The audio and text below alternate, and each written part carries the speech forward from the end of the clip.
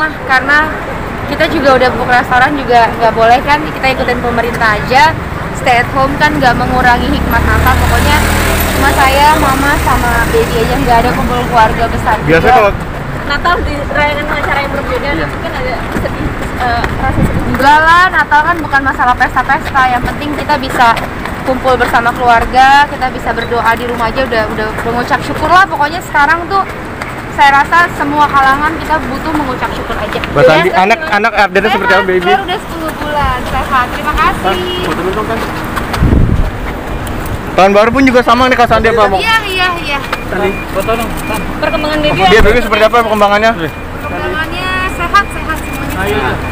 Ya, kan lagi lucu-lucunya nih baby. Sani, Sani, Sani. Iya. Bisa dong foto, foto. Bisa. Kak Sandi boleh kan terakhir greeting tahun baru sama Natal gitu. Hai, saya Shandy Aulia mengucapkan selamat tahun, eh, sorry, selamat tahun baru, selamat Ya, tahun baru ya. ya. Oke. Lagi-lagi. Hai, saya Shandy Aulia mengucapkan Merry Christmas and Happy New Year.